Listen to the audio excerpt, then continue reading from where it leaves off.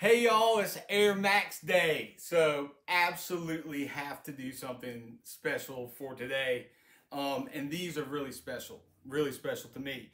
I actually bought these off eBay in my size. They're all worn and beat up, but these, these are called the um, Negro Leagues Untold Truth Collection. And these are like 15 years old. They're, they're, they're way back. But if you follow my account on Instagram or have heard any of the stories I'd like to tell about my baseball that I collect and um, and how I love certain vintage, Satchel Paige is always a big theme in my baseball collecting life. I read a book on Satchel Paige when I was 11 years old, and it sent me down a path of collecting the whole 1953 Topps set, and it was awesome. I, it took me 20 years to do it.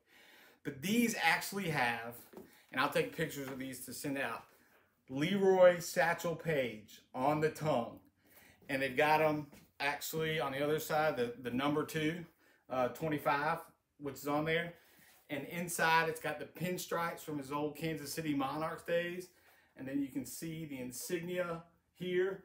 But these are pretty special Air Maxes uh, for me on Air Max Day and I just had to share with y'all because I had only seen them online and then find an old beat up pair, but that doesn't bother me because the whole key to me about collecting shoes and collecting cards is is finding something with meaning meaning for you and having a story behind it. And yes there are a lot of stories in a room like this but these Satchel Paige ones are awesome. And i've actually been to their their museum in kansas city uh, about four or five times. And if you haven't ever been to the Negro Leagues Hall of Fame in Kansas City, you should absolutely go. It's amazing. Josh Gibson and Satchel Paige and uh, Buck O'Neil, all of that stuff.